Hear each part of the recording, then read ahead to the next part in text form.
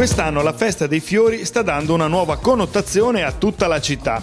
Non è solo uno stravolgimento d'immagine, è qualcosa di più profondamente nuovo. Siamo all'anno zero praticamente di questo evento fanese.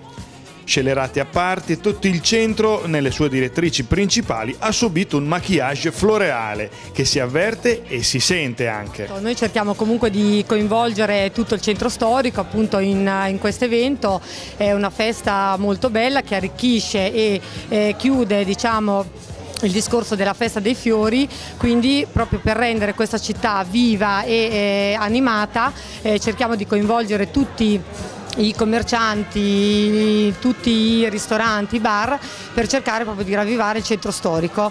Ci sono delle zone che vanno molto al di là della piazza, che sono meravigliose, bellissime, vestiamole semplicemente ancora di più perché noi comunque la base ce l'abbiamo, fanno è bellissima, bisogna soltanto vestirla un po' di più per renderla ancora più accattivante a chi gira. Ma per essere un vero contenitore culturale e innovativo non poteva mancare la parte di spettacolo e a questo ci pensano i fratelli Carboni che in tema floreale possiamo dire che hanno una vera e propria vocazione viscerale. Siamo veramente contenti, ringraziamo Proloco e Comune per averci dato questa opportunità di, di, di, organizzare questa manifestazione in piazza 20 settembre per uh, sabato 24, quindi vi aspettiamo numerosi e la parola è carta carbone. Appunto la, la serata si svolgerà in questo modo, dalle 20 inizierà Emidio DJ, G-Dad e mm, poi alle 21.30 circa i Carta Carboni si esibiranno con il loro show classico di musica disco rock 70, quindi cercheremo di far ballare tutti, anzi ballerete tutti.